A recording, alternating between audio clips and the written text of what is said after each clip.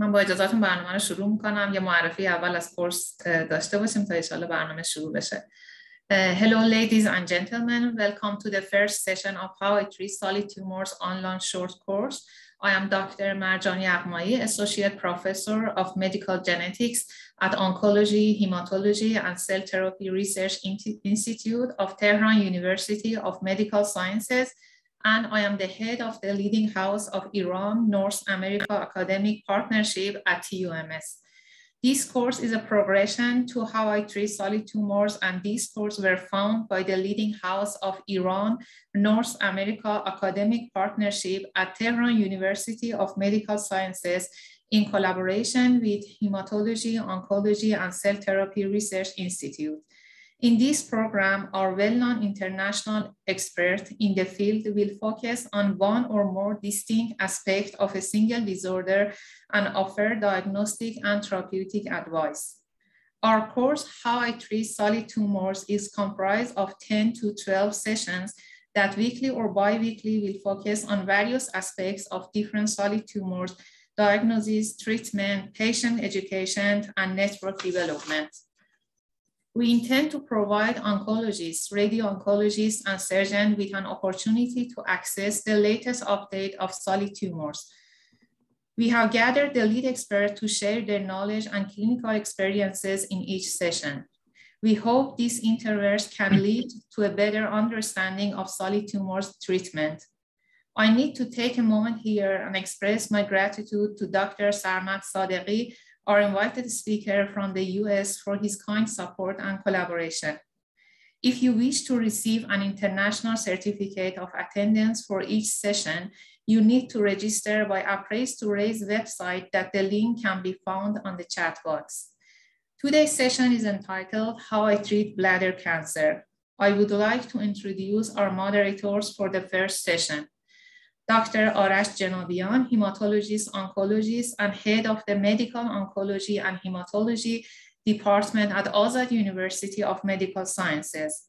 Dr. Mehdi Kardoust Parizi, Associate Professor of Urology at TUMS and Chairman of Urology Department at Shariati Hospital, Iran. Dr. Reza Ghaletaki, Radiation Oncologist, Assistant Professor at Department of Radiation Oncology Cancer Institutes of Tehran University of Medical Sciences. Please feel free to ask your question in the chat box. Thank you all again for participation in, in our course and please make sure to write your correct name, the one that you have registered with, and please try to keep the chat in English. I sincerely hope that you have an enjoyable academic experience today and now let me welcome Dr. Sadeghi, Dr. Janabian, Dr. Kardous, and Dr. Ghaletaki to the stage and ask the, Dr. Janabian to introduce our invited speaker, Dr. Sadeghi. Dr. Janabian, we are all ears. Uh, good morning, everybody. Uh, thank you very much, Dr. Yaghmaie, for the organization of this uh, meeting.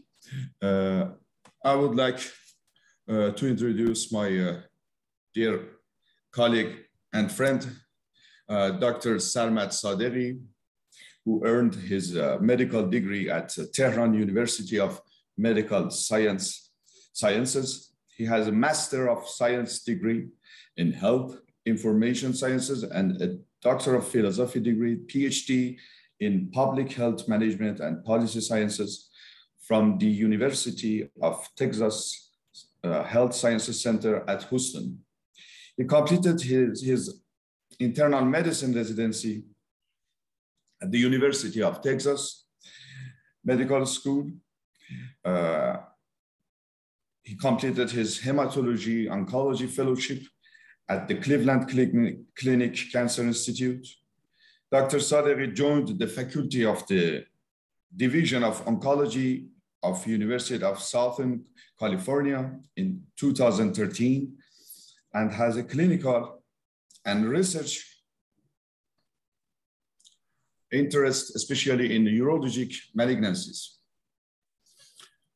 Uh, Dr. Sadeghi is study chair and principal investigator of a number of multi-center clinical trials and is also an active member of SWOG.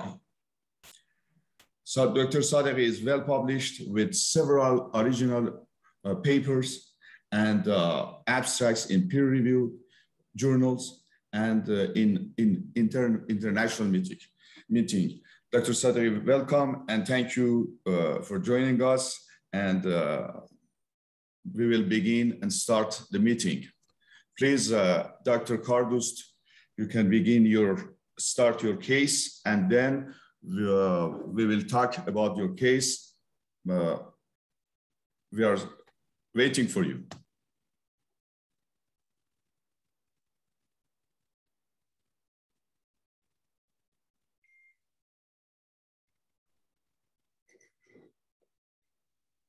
Dr. Kardoust.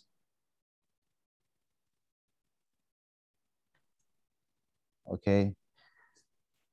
Thanks for Professor Janabian. Thanks for invitation. And uh, do you have my voice in here in the, the and also my slides? Yes. Excellent. Okay. Everything all right. Go ahead. Okay. Thank you. Uh, hello, everybody. In this session, I'm, I'm so honored to be here in this presentation and this meeting so challenging regarding especially bladder cancer. Uh, in this meeting, I just want to talk about the spatial case and we uh, talk about the uh, therapeutic modality that we have for this case. And uh, uh, also in this case, we will have at least two talks of uh, Professor Sadeghi regarding the update and optimal management of such, such case. Okay, let's get started for the muscle invasive bladder cancer. Okay. Uh, in a brief description, we have a 46 uh, years old man with gross hematuria and uh, we decided to perform diagnostic modalities for this case. And finally, as you can see here, we have a, a relatively large uh, intravesical mass with invasion to the left lateral uh, prevesical fat. And also, as you can see here, we have left right hydronephrosis. So we have at least locally advanced bladder cancer. Uh, in summary, we did TURBT and we found here high-grade urothelial carcinoma and uh, with uh, invasion to lamina propria. But because we have a large tumor here, uh, we decide to just take a biopsy, not complete TR because this case was um, unresectable according to TR procedure. Uh, so, and also we relied on the diagnostic modalities, including conventional CT scan to call this case as a locally advanced case. So in the session, uh, so we have a high grade uh, tumor of the bladder, non-metastatic. We have normal lung, we have normal uh, liver, at least according to the conventional uh, imaging modalities. We have no retroperitoneal lymph nodes here. Uh, according to this case, what we can do for such case is very important. And we can discuss more regarding this. Uh, complete TUR and radiation and systemic chemotherapy is in an option for this case. But if you agree with me, because we have a young, we have a healthy case, we have that, and our patient agree with us to underwent extirpative surgery, for example, radical cystectomy. And also because we have because we have locally advanced disease. If you agree with me, radical cystectomy is the best choice for this case. But regarding the other therapeutic modality besides radical cystectomy, neoadjuvant chemotherapy and then radical cystectomy, neoadjuvant immunotherapy, maybe Sarmad help also regarding this topic and also radical cystectomy and then radiation therapy or chemotherapy. Uh, all of these options can be discussed for this case. Uh, before anything, I just want to uh, um, Professor Sadeghi to have a talk on the preoperative systemic therapy for this case and muscle invasive bladder cancer, urothelial carcinoma. After that, we can have a discussion and uh, other colleagues may discuss more about the optional and uh, the, the therapeutic modality that we can consider for this case. Sarmad, please start your talk. Thank you. Uh, thank you very much. Uh, um, I'd like to thank the organizers of this seminar for inviting me. It's uh, my absolute pleasure to be here. Uh, as you pointed out, I graduated from Tehran University, so I have an affinity for my alma mater. Uh, I, uh, I have a few slides uh, relevant to this portion of the case, and I'm going to share my screen. Hopefully it will work. Um, are you able to uh, see the screen?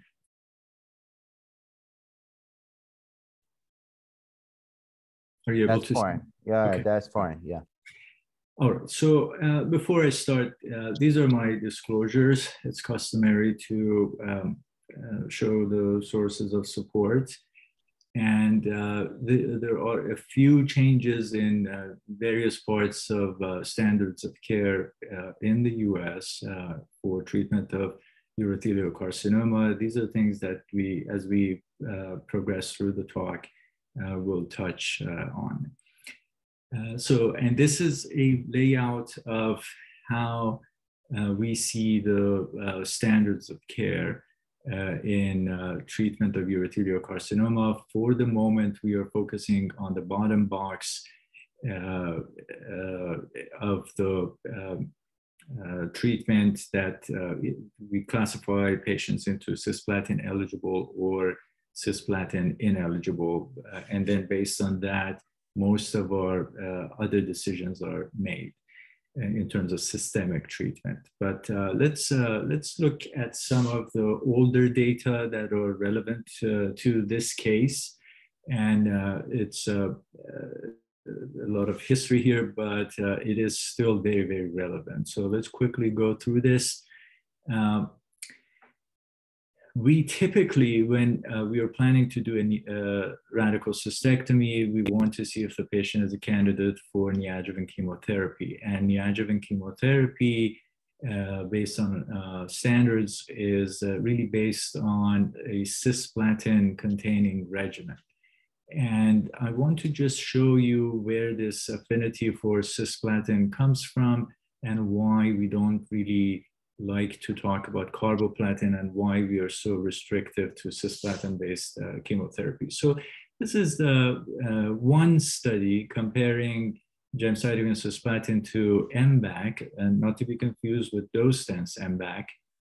It was done in a metastatic setting, and I want to just highlight a couple of things on this study. One is that if you look at the response rate numerically, gemcitabine cisplatin has the advantage uh, MVAC, as you know, is a 28 day uh, regimen of chemotherapy, very, very complicated uh, schedule.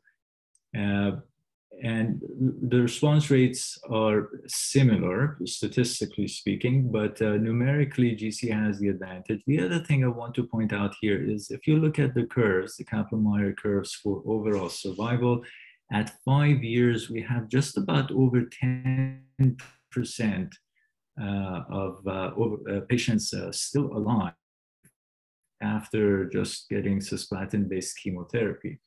And this is an important observation in this regimen. This study is old enough that you can be certain there were no reasonable second line treatments available at that time.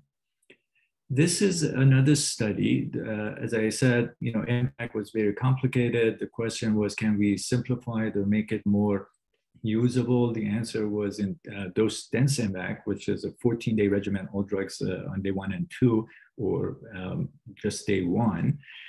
Again, we want to look at this and the response rate in dose dense MVAC is better than MVAC. We can't compare these numbers between trials, but within trial, at least we can uh, uh be sure that dose MVAC uh, dose dense MVAC is uh, similar to MVAC or slightly better.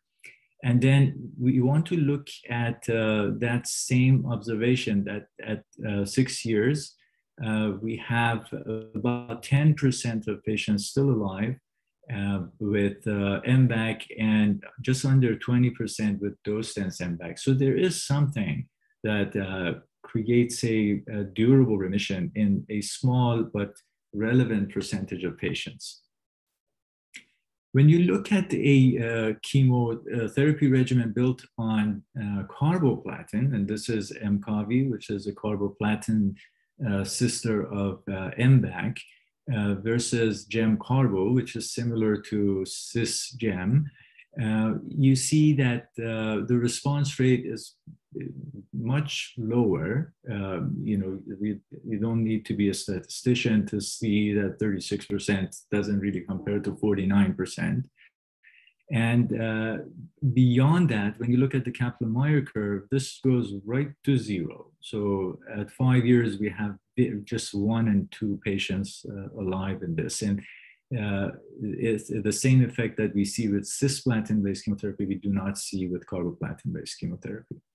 So this brings us to the discussion of what do we do for neoadjuvant treatment and where this data comes from. This, this is a, a SWOG trial from ages ago. It took 10 years to accrue. It was published in 2003, which is already about 20 years ago.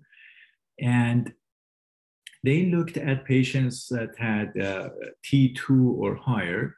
Uh, by definition, these are muscle invasive urothelial carcinoma patients. They got four cycles of MVAC and then uh, proceeded to have radical cystectomy. The control arm was just radical cystectomy and no chemotherapy.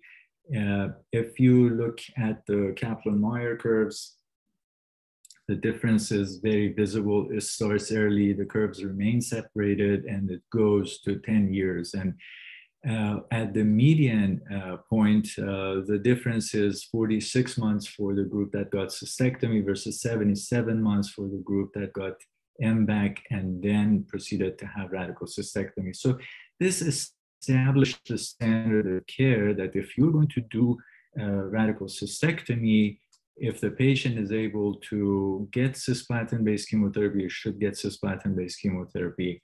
And uh, as for the reasons that I just enumerated uh, in the previous slides, we do not like to substitute carboplatin for cisplatin. So a few words about uh, options in the adjuvant setting.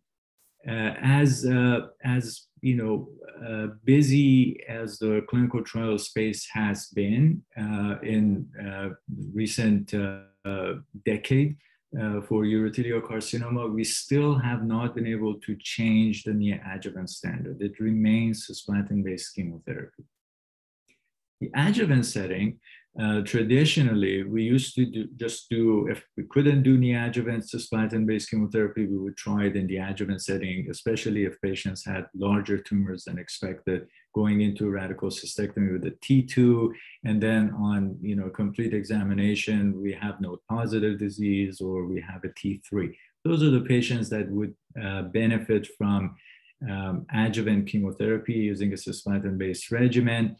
Uh, although the benefit in terms of uh, overall survival has never been proven uh, in a controlled trial setting. Recently, we have uh, the approval of nivolumab, which is a PD-1 uh, antagonistic antibody uh, as part of the Checkmate 274 study. This was a fairly sizable study. They enrolled about 700 patients randomized to nivolumab uh, versus uh, placebo. And the primary endpoint was disease-free survival. And they also had the usual suspects for secondary endpoints. And uh, this was a positive study. It met its primary endpoint. The difference in intent to treat uh, analysis was 21 months versus almost 11 months.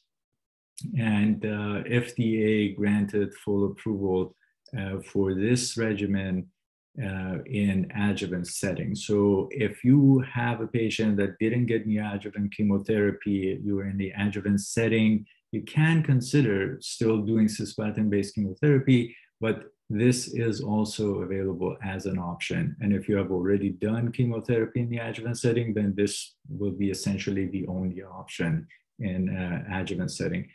Uh, the uh, the curves, uh, if you look at them, uh, you see that they separate uh, and they remain separated. So even though we don't have overall survival benefit yet, I think it will materialize as the study matures and we have longer follow-up. So I'm going to stop here. This was the portion about perioperative options. If you like, I can tell you what I would do with this uh, case that you presented, and then we can discuss around, uh, you know, those recommendations. Okay. Uh, Dr. Uh, Sadeghi, what's uh, your opinion, especially for this case, mm-hmm. for the case presented by uh, Dr. Kardoust? So if we, if we go back to the options that you put on the screen, I, I can tell you that uh, um, I uh, come from a uh, uh an environment where we are really biased in favor of surgery. But this is not just because we are biased. I think data supports it. Uh, this is a young patient, presumably fit with a uh, uh, clinically uh, T2 or higher tumor. This is a patient that, in my opinion, should get neoadjuvant chemotherapy and get radical cystectomy. Uh, the options of uh, just cystectomy or radiation or chemoradiation, radiation radiation is an option that uh, as you know, has never been compared head to head with uh, radical cystectomy, with or without uh, neoadjuvant uh, uh treatment. And uh, traditionally, it's reserved for patients that are not good surgical candidates. They're typically older patients with uh, you know a lot of comorbidity. And in a, in I think in a most recent uh, study, uh, study they, uh, that was published in the New England Journal of Medicine, regimen of 5-FU mitomycin plus radiation was compared to just radiation. And in that arm, there was a hint of benefit in favor of chemoradiation, but that doesn't translate really, at least for me, uh, to seeing it in the same uh, you know, level of effectiveness and outcome for this kind of patient. This is a 46 year old, and uh, by all accounts, uh, uh, no evidence of metastatic disease. And I would say that uh, neoadjuvant chemo and uh, radical cystectomy is uh, my recommendation. one quick note here is that this we typically want to see muscularis propria on the TURBT specimen, and we want to see invasion into that. And those are the types of patients that we call muscle invasive and are candidates for neoadjuvant. But uh, sometimes it's not possible. I agree, this is a very large tumor. It's very difficult to just dig it. The bladder wall seems very thin and uh, you may just perforate this uh, if you get too aggressive with this patient. So but and clinically, it looks like uh, there, there may be even invasion through the wall. So um, I think this is a clinical T2 or higher, and I would agree that uh, this uh, patient needs a cystectomy. And uh, by that logic, uh, chemo before radical cystectomy is the uh, path to, to go.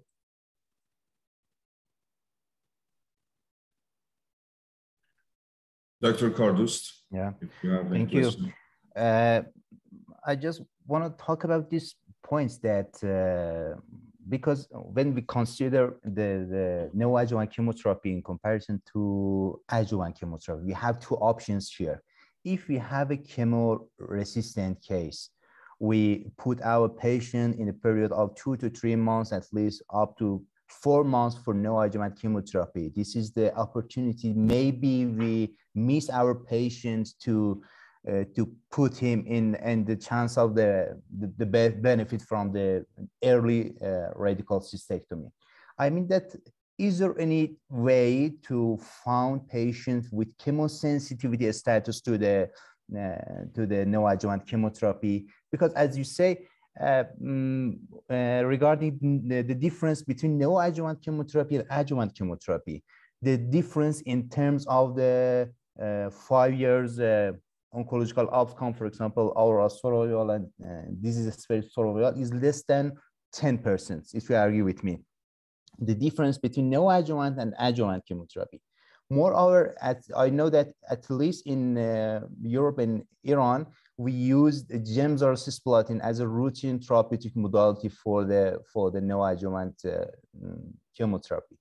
Um, I, I, didn't see a patient that underwent MVAC at the first step. Professor Janabian and uh, Reza, you, you, can help us that if we want to reach the better uh, oncological outcome, MVAC, as you said, uh, Professor Sadeghi, before this, MVAC is better than Gemzar cisplatin. But if we want to use Gemzar cisplatin as a neoadjuvant chemotherapy, and we know that the difference between neoadjuvant and adjuvant chemotherapy in terms of the oncological outcome is less than 10 in, in, in medium, I think that 6% uh, in terms of the oncological outcome. Can we put, I know that in guidelines, we have this uh, um, standard of treatment, neoadjuvant chemotherapy, PT2 to PT4A, PT4A for neoadjuvant chemotherapy. But I think that we should consider in uh, and keep in our mind and that we need precise stratification for our patient to find which patient may, may benefit from neoadjuvant chemotherapy. Can you help us regarding these points? Of course, of course, I'd be happy to discuss this. These are all, you know, uh, valid questions, and in this kind of uh, uh, session that we are having, these are questions that uh, usually come up. I would uh, try to uh, uh, separate these questions, dissect them, and try to answer them one by one. The first question is adjuvant or neoadjuvant? The fact is, in neoadjuvant setting, we have survival data, a clinical trial that has shown survival benefit. And therefore, it is, uh, it is something substantial and something that should be considered level one evidence and it's, uh, it's standard of care. In the adjuvant setting, for similar patient population, similar setup, uh, the studies have not been able to show a survival benefit. And even meta-analyses that uh, were done, you know, combining these studies have struggled to show a survival benefit for patients that are T2 or higher when you try to look at a subgroup that has a T3 or higher, or node positive disease or higher in adjuvant setting, you may, you know, squeeze some benefit out. But, you know, uh, I think uh, as, uh, as somebody who wants to practice evidence-based medicine, I think the data suggests that neoadjuvant approach is superior to adjuvant approach. Then the question is, how do you know if a patient is going to be cisplatin uh, resistant or cisplatin sensitive? I think I think the majority of patients are going to be cisplatin uh, sensitive. The question here is how many of them can you put in a remission uh, uh or complete response at the time of cystectomy? At least that SWOG study suggested that uh, about 25% of patients just by getting chemotherapy can be in a complete CR. And that, uh, that is after subtracting that 15%. So if you go back to that study, the group that got TURBT and then radical cystectomy had a CR at the time of surgery in bladder of about 15%. The other group that got uh, neoadjuvant chemotherapy and then radical cystectomy that group had 39% uh, uh, pathologic CR. So the difference is about 24, 25%. So I think that is still something to, uh, to think about. Uh, that is uh, something worthwhile. And I think just the fact that uh, those patients that get chemotherapy, they do better significantly, even when you look at different subgroups, suggests that bladder cancer may actually be a, a, systemic disease even in early stages and systemic treatment improves the outcome when done at the right time. You have to also consider that by doing surgery, some of these patients may not be able to get the adjuvant chemotherapy because of the postoperative complications, you know, changes in renal function, changes in performance status, uh, or just time it takes time that time that it takes for them to recover back to a performance status to be good candidates for uh, surgical intervention. So all of these arguments, I think, bring us would bring us back to thinking that neoadjuvant is really uh, the best approach. Two modern time trials, uh, SWOG 1314 that was reported, you know, two ASCOs ago and came out February of this year in, uh, in a journal.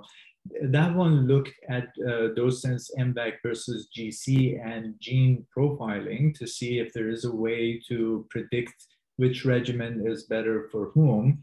And that unfortunately didn't pan out. There was no way to predict it. And then the question of GC versus dose-dense MVAC, I think that that uh, was kind of, you know, somewhat answered by the VESPER trial that was presented at ESMO in September of last year. Uh, they gave six cycles of uh, uh, dose-dense MVAC versus four cycles of GC, and they concluded the six cycles of dose-dense MVAC was superior. One could argue that those patients got a lot more cisplatin than the four cycles of GC, but again, that historical bias towards dose-dense MVAC remains. Remember that the only uh, proven survival benefit in the adjuvant setting comes from MVAC regimen and the fact that we have now included GC in the options of uh, neoadjuvant uh, setting is just by bringing data and extrapolation from metastatic setting. So dose dose-dense MVAC for a patient that's 46 years old and young and robust, I would go with dose-dense MVAC as opposed to GC. My actual cutoff for uh, uh, for these patients is somewhat, you know, uh, fluid in a uh, perfectly healthy 65 year old, I would consider dose-dense MVAC. Uh, in uh, 50 and below, definitely dose-dense MVAC. And in between, it's a discussion of you know risk and benefit. Thank you, uh, Dr. Sadeghi. Uh, Dr. Ghaletaki, please, uh, could you answer about the place of adjuvant chemoradiation in this setting? Dr. Ghaletaki, please. Hi. Hi, thanks for having me. Uh, I'm Dr. Reza from TUMS. Uh, I'm so glad to be part of this program. Uh, first, I want to add um, something uh, for the definitive chemoradiation or three modality therapy. Um, uh, for this case, I would like to know the function of the bladder uh, or the or the size of the tumor. I think uh, it was a huge uh, bladder tumor and the presence of moderate or severe hydronephrosis. Uh, and uh, uh, another important thinking or decision making to recommend bladder preservation would be presence of extensive carcinoma in situ. These factors make bladder preservation useless uh, because we, uh, by uh, trimodality therapy, uh, would like to have a healthy disease-free patient with a functional bladder. And any factor that would um, compromise these conditions is would be a contraindication for bladder preservation. Uh, as uh, Dr. Sadeghi has uh, mentioned, uh, bladder preservation with chemoradiation is more a European approach, uh, especially in the UK. And uh, the North American investigators um, are more in favor of radical cystectomy. Um, we don't have a head-to-head comparison in phase uh, uh, phase three clinical trial to compare radical cystectomy with uh, radiation. I mean definitive radiation. Um, I I think uh, it it's not possible uh, to do such trials because uh, um, the retrospective studies are are, uh, uh, have been done among um, medically unfit patients or who um, had uh, had refused to undergo surgery. And um, giving uh, I mean acquiring informed consent in such settings um, would be so hard. So um, some maneuvers have been failed to uh, perform a clinical trial. Apart from that uh, I, if I want to talk about adjuvant radiation, uh, consider uh, many factors. Uh, again, we don't have any um, strong evidence in such settings to propose adjuvant radiation, but uh, there are factors that uh, would increase the chance of local regional failure. Um, among those factors, I uh, uh, I can mention the presence of uh, a T3 or higher tumor in the surgical specimen at the time of radical cystectomy. Another important factor would be uh, positive uh, pelvic nodes and or uh, positive margins uh, of the of the radical cystectomy. These factors would increase the chance of local regional failure.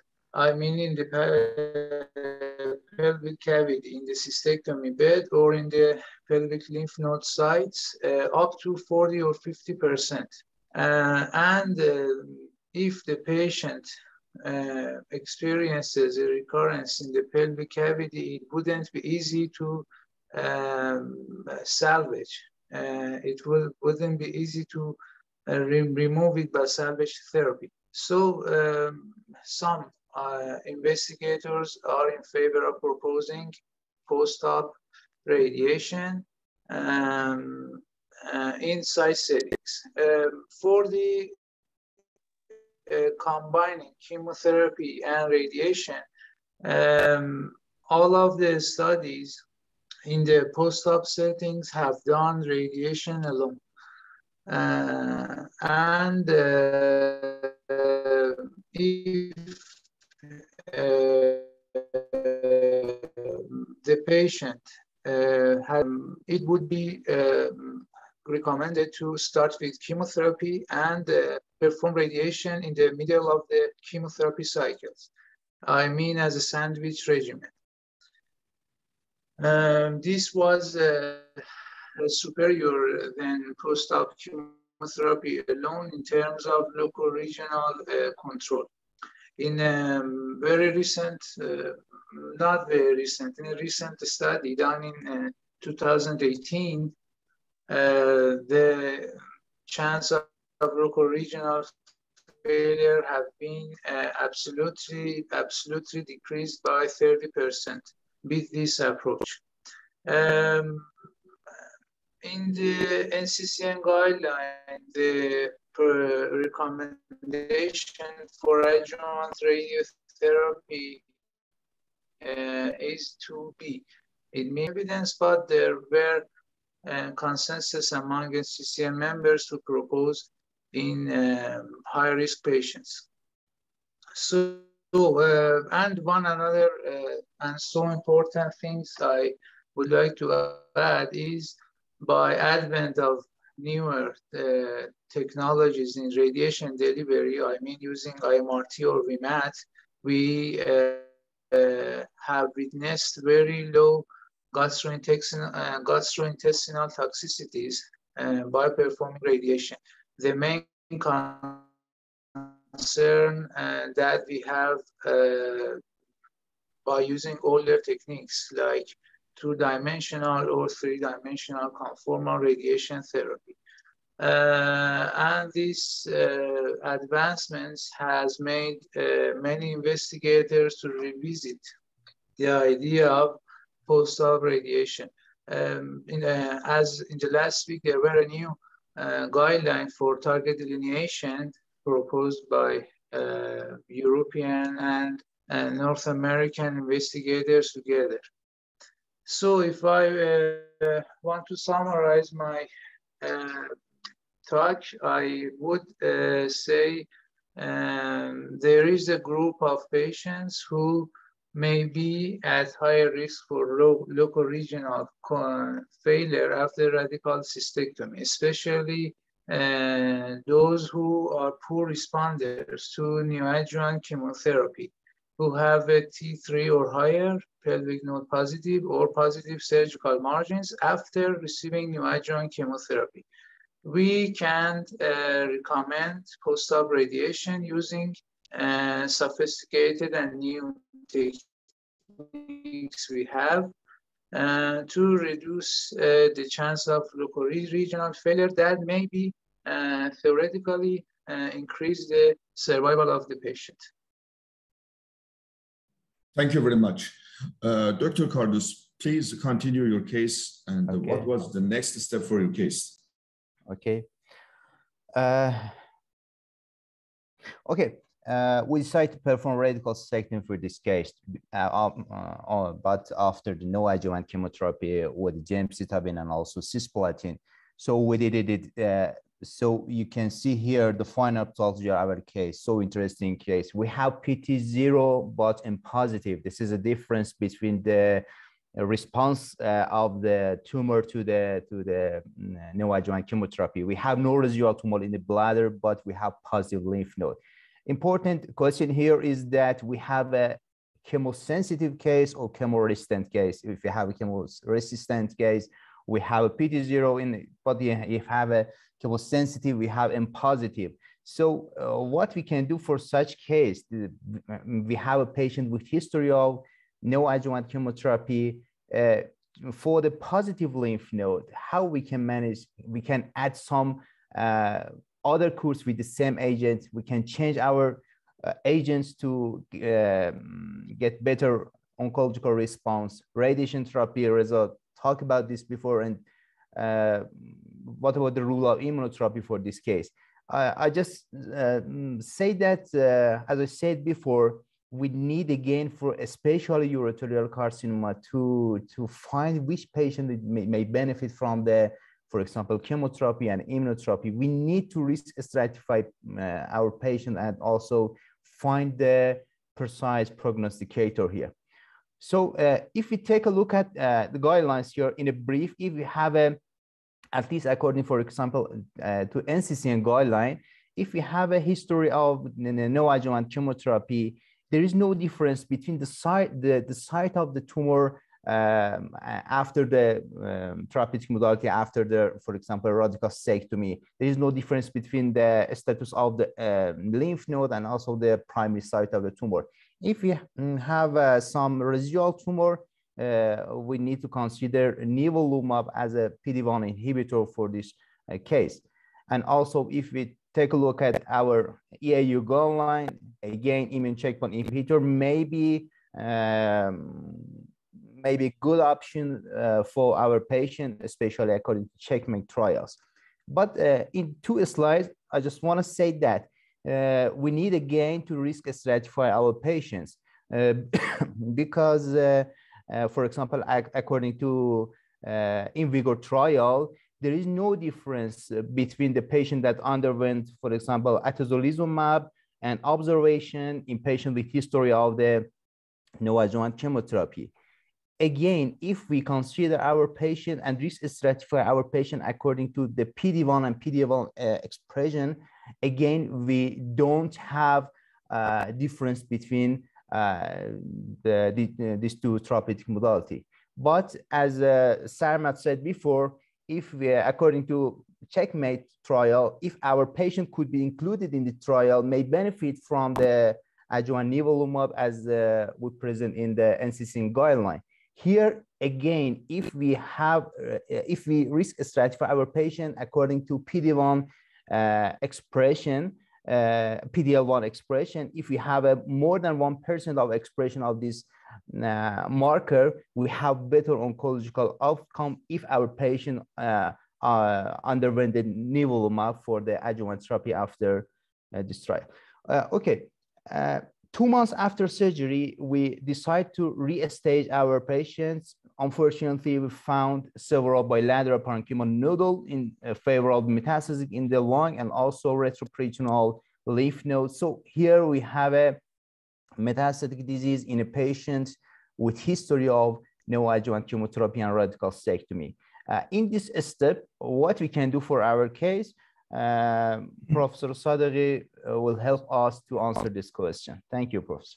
Thank you, thank you. Uh, this is uh, this is very interesting. Uh, I want to just point out a couple of things, and then I'll show you some additional slides. One is uh, there was no lymphovascular invasion, I think, reported on the TURBT specimen.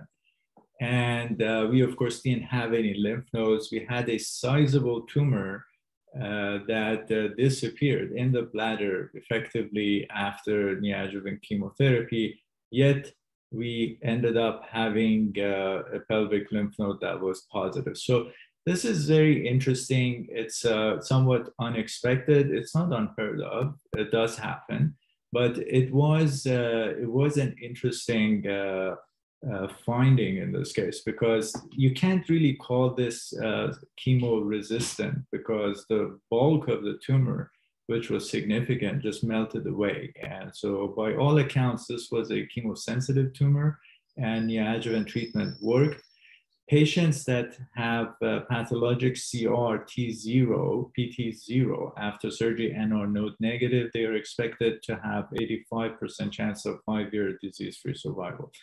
And uh, but in this case, we had that note that was positive. So this is this is interesting. I would imagine you could uh, send that specimen and see if uh, there's a particular clone that may be uh, in that uh, uh, chunk of tumor that is different from what it was in the bladder. Uh, that is, of course, speculation. The other thing is that, okay, so let's suppose we don't know what's going to happen in the future in this case. What is the best modality? Do we radiate because there was a node in the pelvis, or do we consider systemic treatment? And I think our thinking, uh, it may be a, a, US versus European approach, or, you know, but I think it's just the evidence, this level of evidence. Uh, as I said, most of these urothelial carcinomas, we have to consider that uh, they are systemic. And uh, the, the biggest risk of failure, treatment failure, is not locally local regional failure, it's the distant failure, it's systemic failure. And if I were to choose something for this patient, because the patient was node, node positive, I would say that systemic treatment is probably a better option. Typically at my center, we don't radiate node positive patients. Uh, we even, you know, if we even have a CIS uh, margin that is positive. We have had these cases in our tumor boards and we have discussed them to death and we usually don't radiate them. We radiate for a gross positive margin uh, to just, you know, where we know there is residual disease, the knife went through the tumor, uh, we want to uh, consolidate our local control, that's what we do. But if we have node positive disease and we're in adjuvant setting, uh, I think systemic treatment is again what uh, needs to be done in that uh, setting. So fast forward to your postoperative scan, we see there are retroperitoneal nodes, and that's case in point that you know this is really a systemic uh, failure, not a local regional failure. We could have radiated this patient and not really prevent the systemic failure that we had as opposed to uh, adjuvant treatment. Uh, the other uh, thing that uh, we will see through these uh, slides that I have is that there is a difference between atezolizumab and other immunotherapy drugs. And the evidence is clear. If you ask me, can we explain it? We can't, but the evidence is clear that these drugs are not the same. So let me just quickly go through some of the uh, immunotherapy studies. I have selected a few focusing on pembrolizumab and atezolizumab. I'll go through Keynote 45 versus IMvigor 211. This is second line immunotherapy. IMvigor uh, 210, Keynote 52. This is treatment naive immunotherapy in metastatic setting. And IMvigor 130 and Keynote 36, 361 is uh, the chemo immunotherapy combination. So quickly, this is a phase three second line treatment for metastatic urothelial carcinoma. These are typically patients that have had some sort of chemotherapy, uh, platinum-based chemotherapy, and maybe even a second line chemotherapy and ended up in the study. Fairly sizable study, 270 patients randomized to Pembro uh, versus uh, the standard of care at that time, which was paclitaxel, docetaxel, and vinflunine. We don't have vinflunine in the US, so that's the European drug. Uh, overall survival was the primary endpoint. Uh, the usual suspects for uh, secondary endpoints. This, uh, these are the key uh, uh, data points that I've selected for this trial. Overall survival was significantly better for pembrolizumab in second line. at the median, the difference was uh, the uh, median overall survival for pembrolizumab was uh, just over 10 months, as opposed to, um, I think, about seven for the control arm. Progression-free survival, not much of a difference, especially if you look at the curves, they're just, you know, similar, maybe toward the end of the tail, they, they separate a little bit, but PFS uh, is not a very good endpoint for uh, immunotherapy studies. In my opinion, it's primarily because the response rate is low. Uh, response rate was about 20% for pembrolizumab uh, in this uh, setting, and the vast majority of responses, uh, and as I've uh, boxed them on the right side of the screen, they occur by three months. So your first scan is going to tell you if this patient is going to respond or not. Of course, response is not the only benefit. Even if you have stable disease, uh, you uh, have uh, some disease control, which you know is something to uh, to say about uh, these treatments if you look at whether PD-L1 expression on the tumor specimen did anything, you know, it's all over the map. The response was not uh, predicted by, but overall survival, maybe there was a little bit of advantage.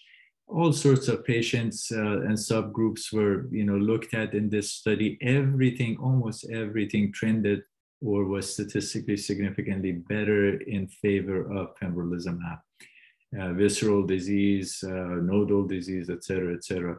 Grade three, four toxicities, pembrolizumab was much less toxic compared to docetaxel, paclitaxel, and vinflunine. So this was this was a win-win uh, for across the board for uh, response rate, for uh, toxicity. This was a really good drug. So it became standard of care in post-platinum setting. Same design, same type of patients, same setup, same comparison, essentially identical trial. This one, even a little bit larger than the study for pembrolizumab, failed to show a difference in favor of atezolizumab. If you look at the survival curves, you know, they just uh, are overlapping. Maybe there's a little bit of separation at the end, but that's not what you really want to see here. And same thing with PFS. Again, PFS is not a very uh, good endpoint. All sorts of subgroups were looked at. Again, no real benefit for atezolizumab. Median uh, overall survival, not statistically significant. Uh, response rate, uh, not really uh, significant. Uh, so why did this happen? Maybe it was poor uh, study design. Maybe it was the way they set up their statistics. But I think you know there is a difference between uh, pembrolizumab and atezolizumab. If if we look at the treatment naive setting, both studies had phase two studies, single arm, keynote 52 for pembrolizumab. Uh, the setup is uh, shown on the screen. And uh, if you uh, look at, uh, you know, when we see these uh, responses, again, the majority of them are within three months. This shows it by a number of weeks. Response rate may be a little bit higher in the uh, frontline setting, 24%, maybe a little bit numerically higher. And, and the bottom line for this study was that uh, these are patients that are not candidates for chemotherapy and they are still alive at six months, almost 70% of them, 24% response rate. This got uh, the drug accelerated approval. The, the equivalent of this for atezolizumab was even, you know, better, uh, at least numerically. But as we saw in the phase three, they, they failed. So atezolizumab got into such a bind that uh, Genentech had to voluntarily withdraw the drug from this indication. So we do not use atezolizumab uh, in this setting. And as you pointed out, the adjuvant trial of atezolizumab in this space failed again when nivolumab study was a success. So there is a difference between these two drugs. I can't explain it, but it's it goes beyond for study design or ambitious, you know, setup. It, it may be that the drug is uh, different. This is IMvigor 210 frontline setting. And if you look at these numbers, they're almost unbelievable. If you look at the overall survival, 15.9 months for uh, frontline setting. These uh, this is this is uh, somewhat uh, hard to believe, but uh, the this was a study that was reported before their phase three. So if we uh, look at Keynote versus IMvigor for this setting, these are the points that I want to make. Uh, for Keynote had an older patient population uh, they had higher rate of visceral disease, they had uh, worse performance status, and they had, it was a larger study. So I still think pembrolizumab, even though they didn't report a 16 month, you know, over median survival in their uh, study, for the reasons that I've enumerated here, I think the data on pembrolizumab is better and more robust. Uh, if you are interested in looking at um, a uh, review of all of these studies. This uh, paper is a good one, and uh, you can uh, look at uh, all of these studies in one place. And then we have Javelin study. Javelin is the study of avelumab in maintenance setting, and the distinction here is that in second line, we do cisplatin-based treatment. We do six cycles of chemotherapy. We wait for progressive disease. When we have progressive disease, we put the patient on pembrolizumab. That's uh, the second line standard. Uh, Javelin uh, avelumab study proposed that, okay, we do the six cycles of chemotherapy. If we do the first scan at the end of chemo and we don't have primary refractory disease, which means you know we don't have progressive disease right after chemotherapy. These are patients that we want to immediately move to avelumab. And they did a, a phase three study, 700 patients, and the primary endpoint was survival, and they met the primary endpoint. So it is a standard of care. Uh, even in Europe, our uh, people are warming up to it. In the US, I think in the community practices, especially, people are doing that. I, I have some reservations about this. I prefer to do pembrolizumab in second line rather than avelumab in front line for some of the reasons that I will show you here. This is uh, to show that the results of the study uh, was compared to best supportive care 21 months uh, median uh, estimate for the survival versus 14. So who can argue with survival benefit? Um, it's there.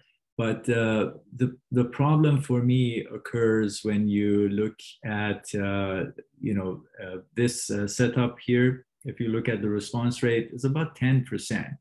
In second line, we have 20 plus percent response rate. And these are, you can argue that these are patients that are selected for lack of progression. They may already be in some sort of, you know, partial response or even a CR. And therefore it's hard to expect a better response, but, you know, it's something to look at. And then this is, uh, this is the, uh, the biggest problem I see with the study that, you know, the patients that were on best supportive arm, best supportive care arm, the control arm, on progression, only 43% of them got immunotherapy. And almost 60% of these patients did not get immunotherapy. And it's hard to explain why, but that is, that is what uh, happened on this study. So the results are somewhat tainted. Uh, it's, uh, it becomes a, a, question of risk and benefit.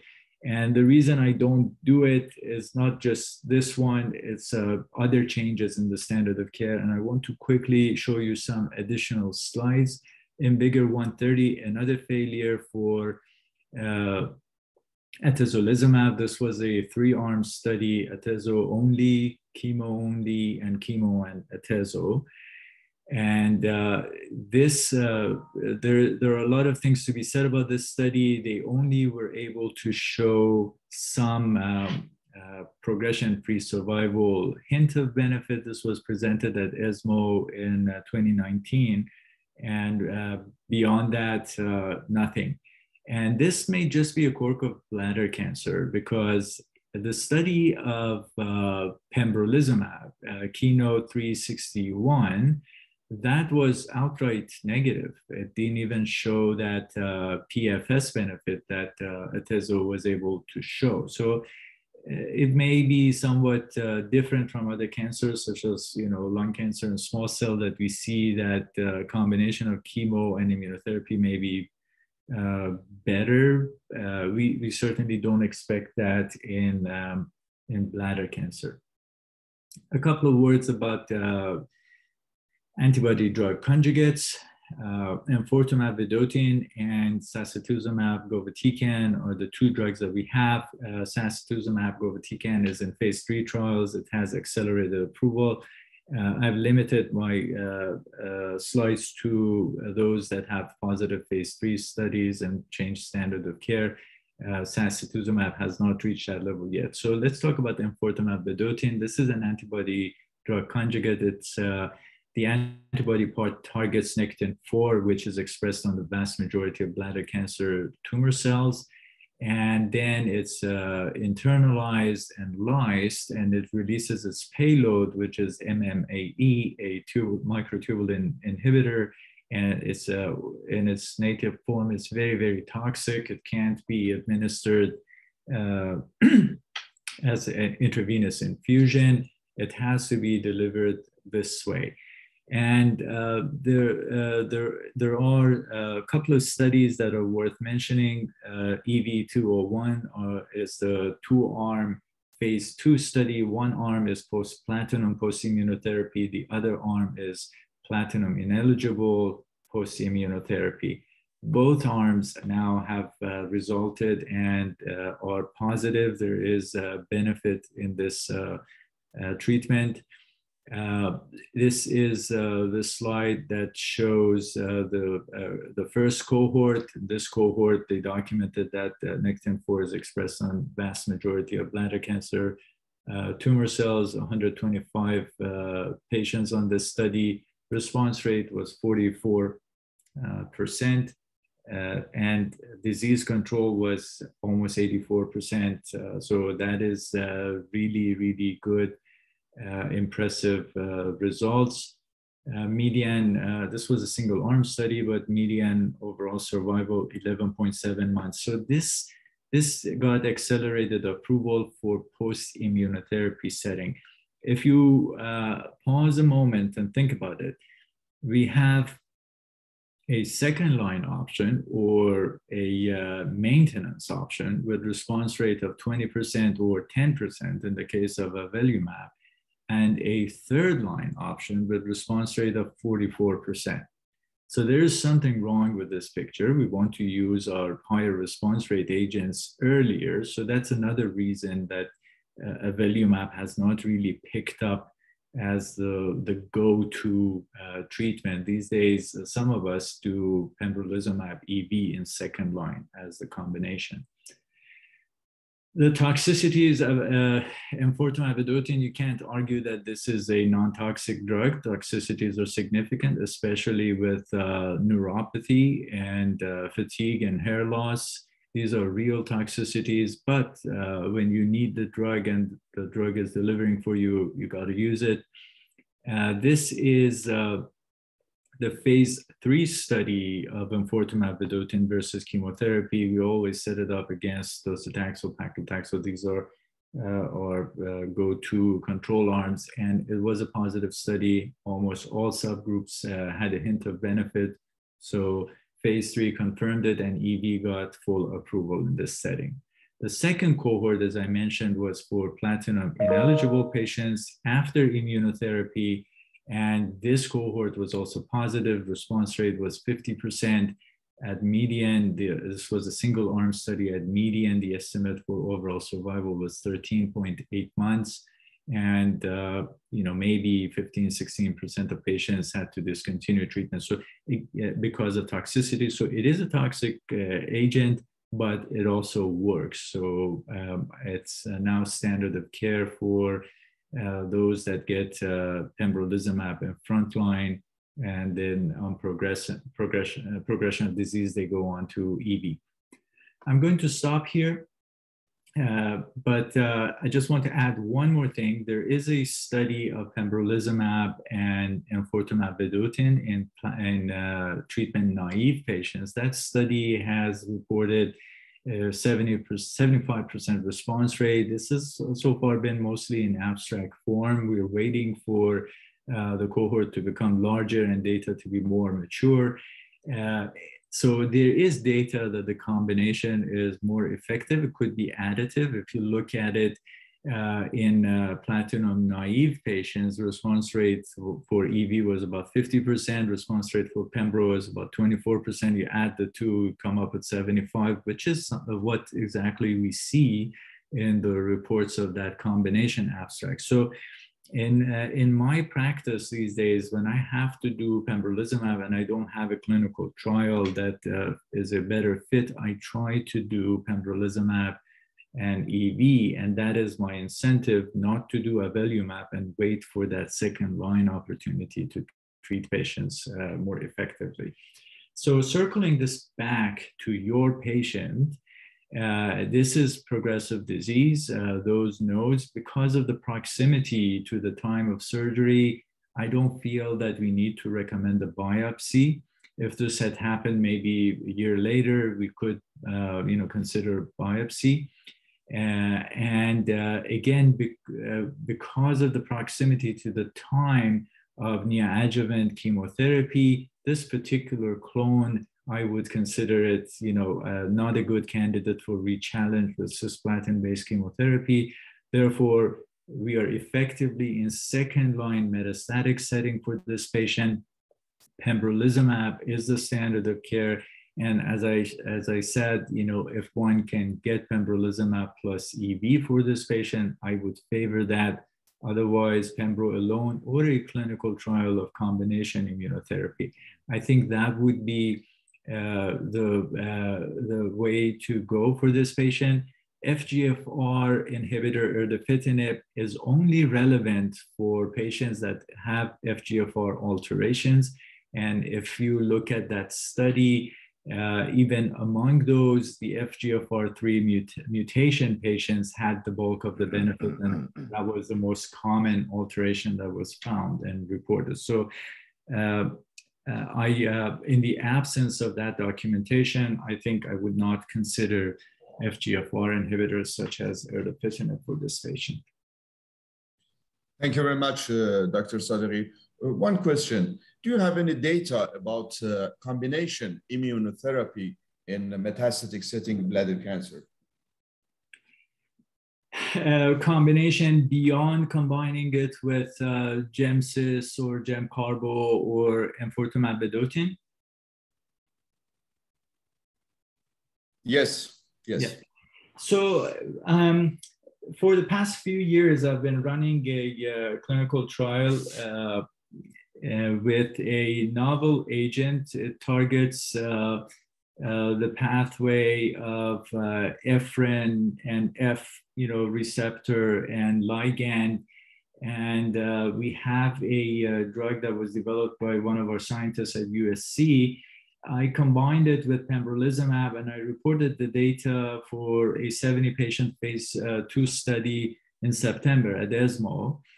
Um, if um, I I wasn't I I have some slides, uh, but uh, let me see if if you're interested, I can see if uh, we can look at some of those slides. Okay. I would ask uh, to uh, our participant if you have any question, uh, you can raise your hand and ask your question at the end of the meeting. And if not, you can write it in the chat box. Uh, all participants, please. Go ahead. So this uh, this is the data I presented at ESMO uh, last year, and the manuscript is uh, should be coming out uh, soon in JCO. It's accepted for publication. It'll be coming out soon. So this this particular combination we consider that immunotherapy immunotherapy. Uh, the, the, two drugs are uh, neither one is a cytotoxic agent. And I, I showed this, uh, this slide at ESMO. Uh, it's interesting to look at this pathway this way that uh, this ephrin B2, which is the receptor for this drug, is uh, present in urothelial carcinoma, but not in normal urothelium. So in a way, it's a very selective uh, target uh, for the drug. Um, and uh, this study was for post-platinum patients. They could not have had any immunotherapy. The regimen is shown. It's the experimental agent that uh, Q-week uh, uh, interval pembrolizumab at standard uh, dosings. We had 70 patients, uh, usual endpoints. This was a typical urothelial uh, carcinoma patient in their mid 60s, majority male, mostly bladder cancer, mostly post uh, cisplatin based chemotherapy. And this was the response response rate. So in the intent to treat all comers, we had response rate of 37%, which is higher than what you expect with pembrolizumab. A CR rate of 15%, again, much higher than what you expect with pembrolizumab. In the group that had the biomarker for this uh, drug, if, if, they had uh, ephrin B2 expression, the response rate was over 50%, which is much higher uh, than expected, and uh, just the CR rate is higher than what the response rate expected with pembrolizumab. We don't have, we have not reached a median duration of response. This is the waterfall uh, plot, and uh, the majority of responders are biomarker positive. We have a lot of CRs in this swimmer plot. If you look at the time, we have patients that are reaching 60 months of follow-up when was the last time you heard about the bladder cancer patient in second line metastatic setting, you know, surviving to 60 months on just one line of treatment? Uh, and uh, we have a few that have discontinued treatment, but are maintaining that response. This is a single arm study. These uh, curves are for biomarker positive and all comer.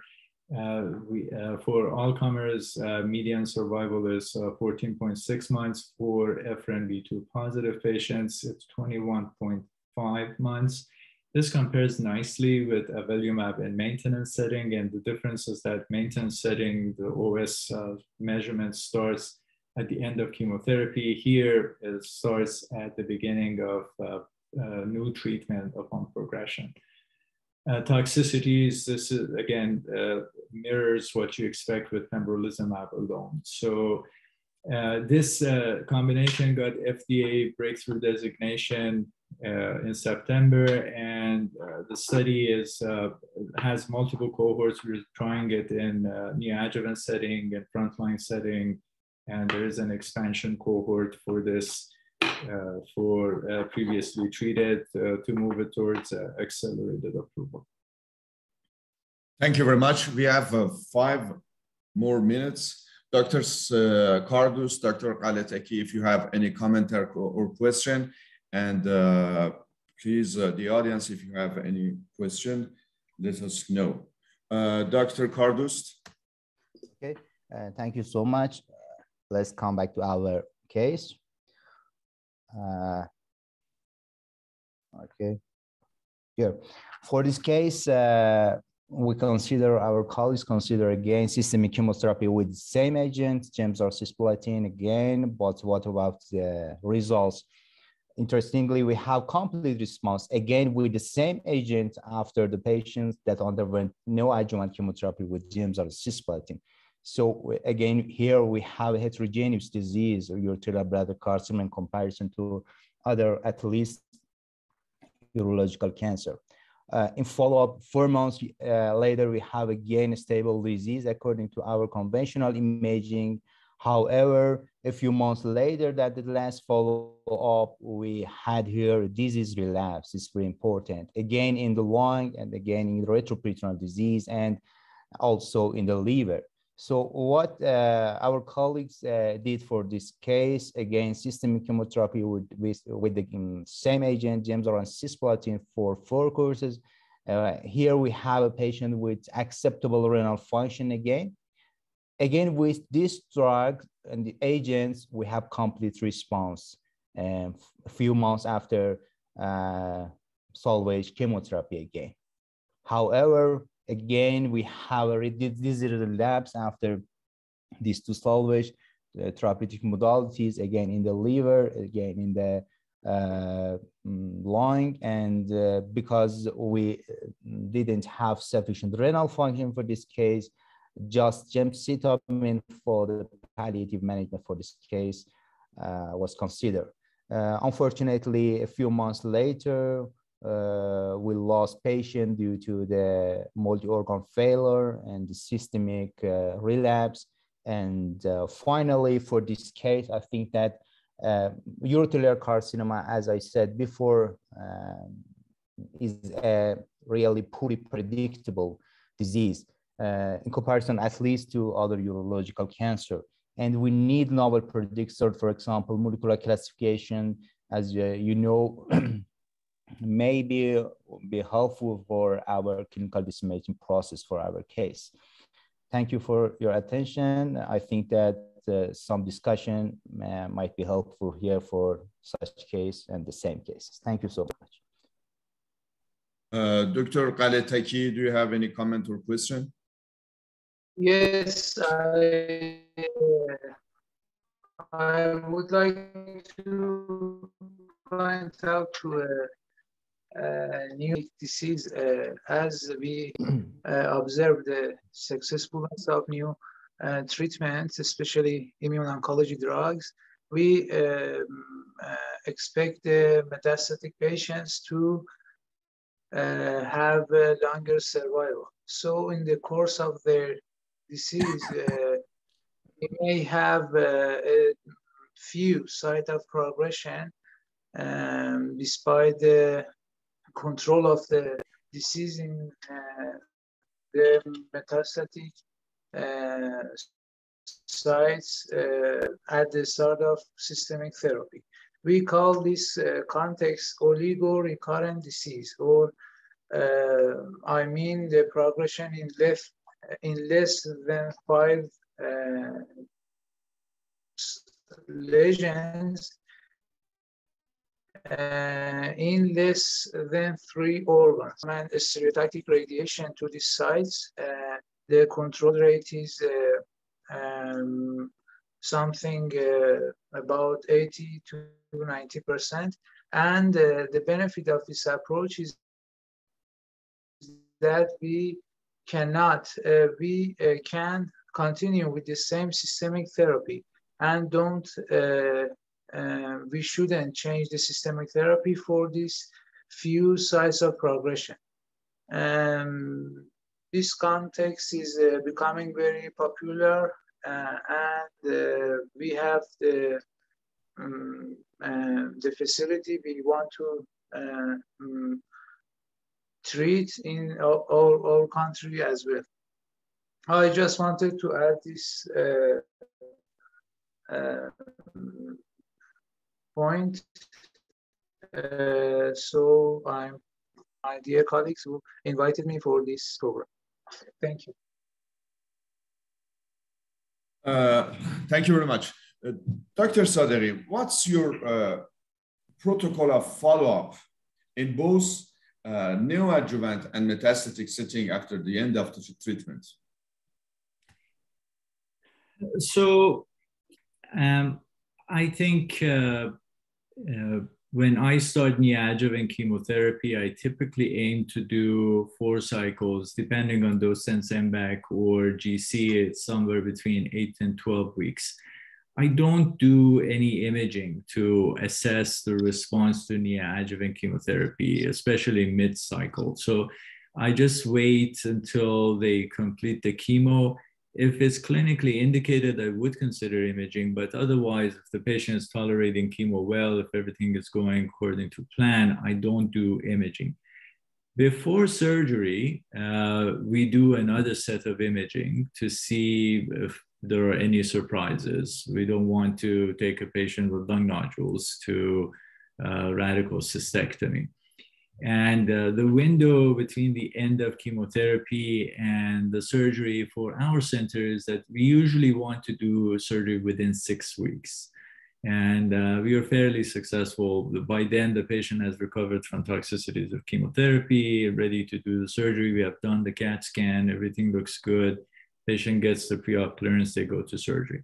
After surgery, depending on what we see on the pathology specimen, if, if I have if I still have residual disease, I definitely want to scan the patients every three months uh, for the first couple of years, uh, regardless of whether I do uh, whether I do adjuvant uh, treatment or not.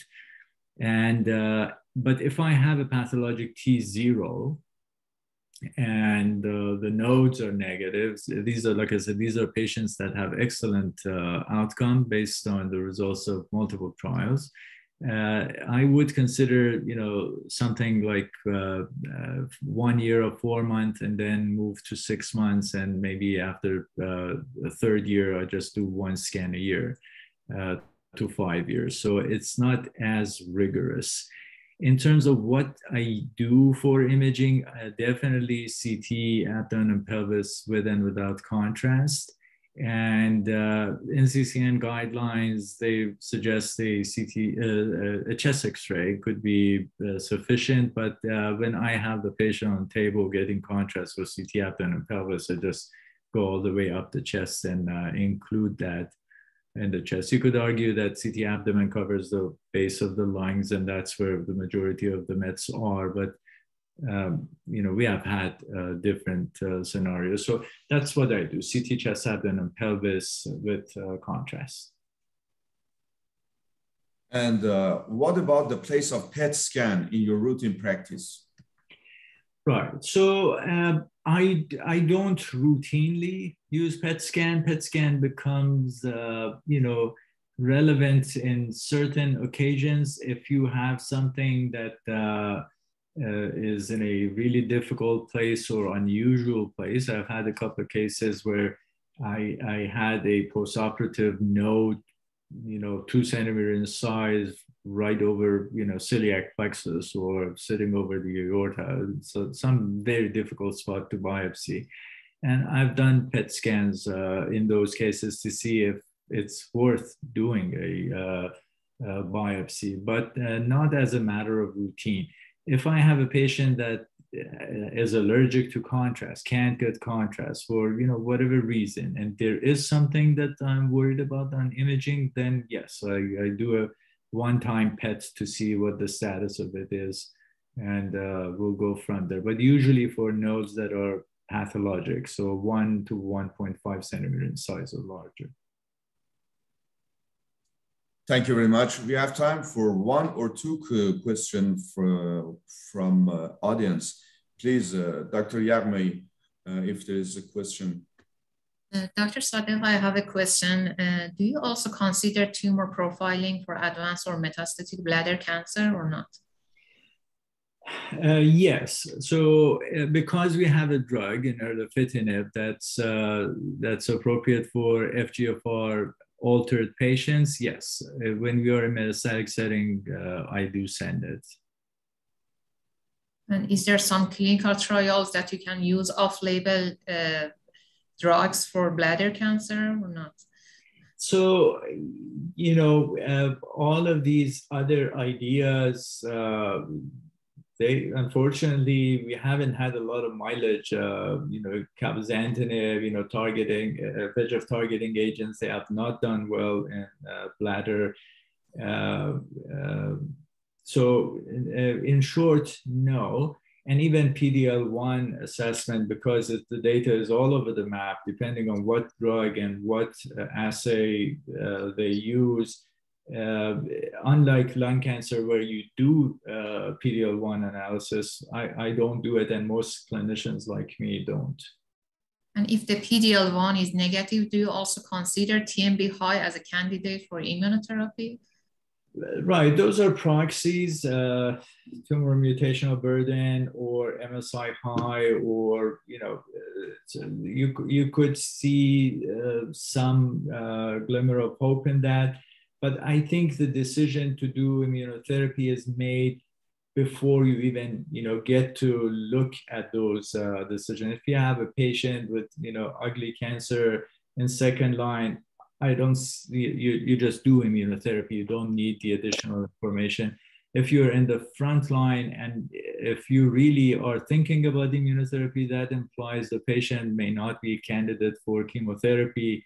So again, uh, even FDA withdrew that guideline that they had uh, based on IMvigor 130 and the failure of uh, Atezo in as monotherapy, FDA uh, initially uh, released a advisory note that if you're going to do immunotherapy in frontline, those patients have to be PD-L1 expressing patients.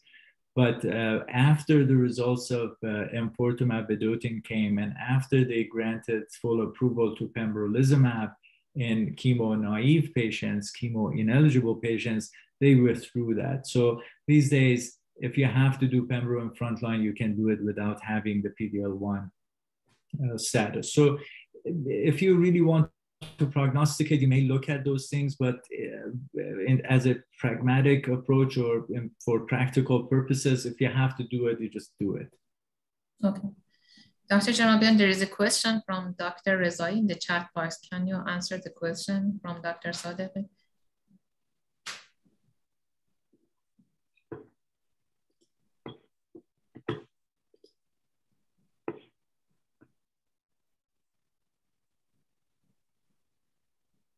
Okay, so I think question is, uh, let's see, uh, bladder preservation approach, can we use immunotherapy after chemotherapy, chemoradiotherapy as adjuvant?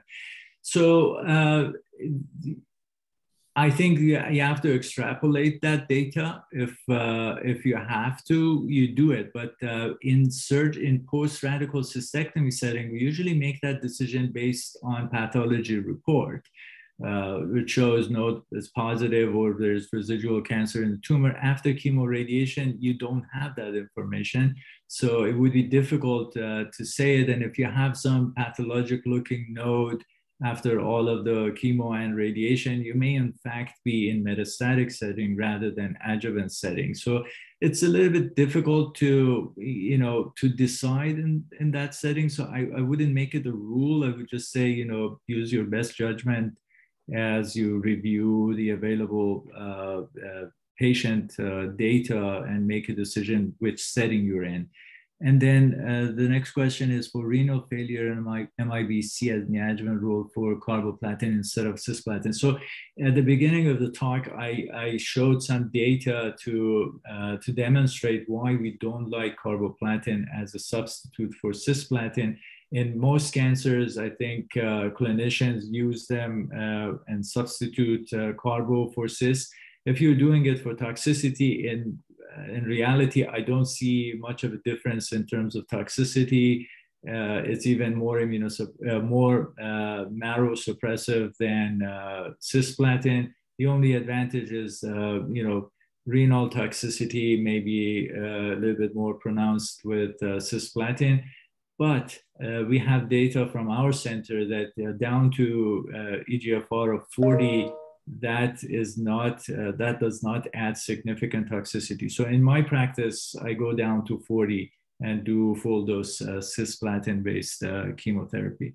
And final question is, should we use MRI with contrast for initial staging to rule out perivesical lymph, lymphadenopathy? So uh, it is a modality that's getting better. You can, uh, in this case, for instance, that we had, I think if you do an MRI of pelvis, you can see uh, that the tumor is invading through the muscle maybe a little bit better. It's getting a little bit uh, more specific. But again, for practical purposes, uh, if your intent is to do uh, radical cystectomy, those little nodes, when you take them out, their status is more important after you've done your neoadjuvant chemotherapy and you will have that status on the pathology report. So I don't see how having that on uh, the MRI prior to your treatment decision would influence your treatment decision. And if you have a uh, extra pelvic node that's pathologic two centimeter in size, then you got to question whether that patient is really in metastatic setting rather than locally advanced uh, and a candidate. If you further clarify your question, I'm happy to discuss it more. But we typically, for prostate cancers, we do a lot of uh, MRIs. For bladder cancer, we typically just do a CT abdomen pelvis, and that's, uh, that's enough for us. Okay, Thank you very much. Uh, uh, on behalf of uh, our Society, Iranian Society of Medical Oncology and Hematology, I would like to thank you, Dr. Sadeghi, and I, I would like to invite you for our annual meeting uh, uh, in next uh, few months. thank you very much. Thank you very much, Dr. Yaghmaie, and thank you very much, Dr. Kardoust and Dr. Ghaletaki. It was my so pleasure. Much. It was very nice to be part of your uh, group and uh, participate in this uh, discussion. Okay. Sincerely thank our speakers and moderators. Collaboration with all of you is an honor for us. Thank you, Dr. Sadeghi, for your fabulous lecture, our moderators for interesting case and discussion. I am also grateful for the participation of all of you in the first session of how I treat solid tumors. Have an enjoyable time. Thank you. Thank Have you. a great day. Thank you. Bye. Mm-hmm. Bye-bye.